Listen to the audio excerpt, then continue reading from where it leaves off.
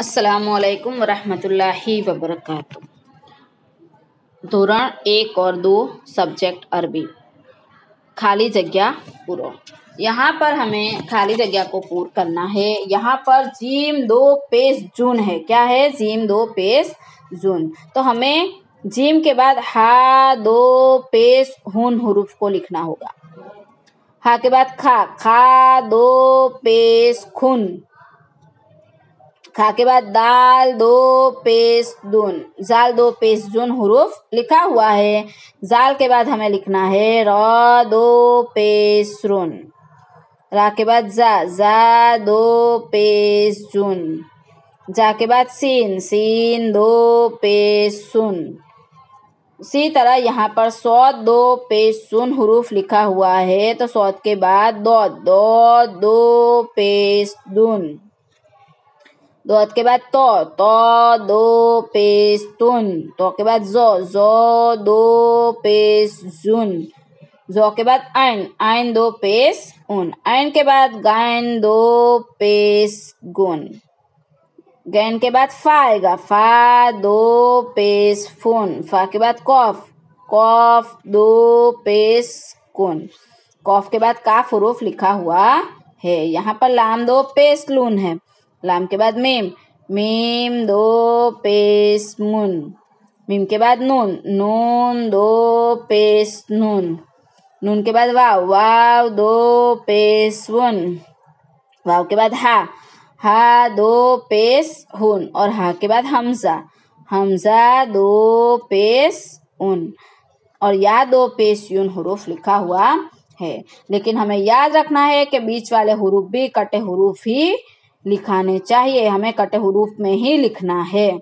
उसी के बाद है, नीचे आपेला हरूफ पर एराब लगावी फरी थी, लखो। तो यहाँ पर हमें पेश वाले, दो पेश वाले हरूफ को एराब लगाना है। यहाँ पर अलीफ, जबर, अ, हा, जबर, ह, और दाल के ऊपर दो पेश आएगा। दाल दो पेश, दुन, अह, दुन। उसी के बाद यहाँ पर है नून अलीफ जबर, ना। तो हमें यहाँ पर लिखना है नून, अलीब, जबर, ना। रा, दो पेश रुन नारुन। उसी के बाद यहाँ पर लिखना है कापेश कु। तापेश तू, बा, दो पेश बुन। कुतुबुन। क्या है? कापेश कु तापेश तू, बा, दो पेश बुन। कुतुबुन। उसी के बाद यहाँ पर है लाम जबर ल। लाम जबर ल। तो हमें यहाँ पर लिखना है लाम जबर ल, अंजेर, ई, बा, दो, पेश, बुन। ल बुन। क्या लिखना है? ल बुन। उसी के बाद हमें यहाँ पर दूसरा हरूफ, यहाँ पर तो एन। तो यहाँ पर हम लिखेंगे तो जबर तो एन अलीफ जबर, आ। मीम दो पेश मुन तआमुन उसी के बाद हा अलीफ जबर हा फाजिर फ़ी जो दो पेश जुन क्या है हाफिजुन इसी तरीके से हमें हरूफ को और एराब को लिखना है उसी के बाद यहाँ पर है रापेश रू सीन पेसू लाम दो पेसलुन रुसुलुन। यहाँ पर है कौब जबर, क, सीन जबर, स, मीम, दो पेश मुन कसमुन तो इसी तरीके से हमें हरूफ को लिखना है। उसके बाद आगे है लाम जबर, ल, कौफ अलीफ जबर, का। ल, का, दाल, जेर, दी, रा, दो पेशरुन लकादिरुन यहाँ पर खा अलीफ जबर खा सीन जेर सी रा जबर र खा, सिर ता दो पेश तुन खा, सिरतुन। यहाँ पर है वाव अलीफ जबर, वा।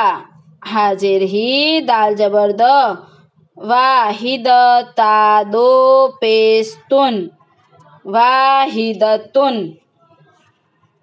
उसी के बाद यहाँ पर हा अलीफ जबर, हा, मिम जेरमी या, जबर, य, ता, दो, पेश, तुन। हा मियतुन इसी तरीके से हमें हरूफ और एरा को लिखकर हरूफ को लिखना है। यहाँ पर है रा, अलीब, जबर, रा। दो जिरदी या, जबर, य, ता, दो पेस्तुन रादियतुन इसी तरह। उसी के बाद यहाँ पर है ना इमतुन तो हम यहाँ पर लिखेंगे नून अलीब, जबर ना एंजेर ई, मिम, जबर म, ता, दो, पेस्तुन। ना इमतुन तो प्यारे बच्चों, यहाँ पर हमने आज एराब लगाए।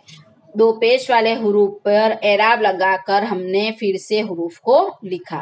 तो प्यारे बच्चों, हमें हमारी अरबी की नोटबुक में इसी तरह खाली जगह को भी पूर्ण करना है और उसी के बाद एराब लगाकर हरूफ को लिखना है अच्छे राइटिंग से। ये हमारा होमवर्क है।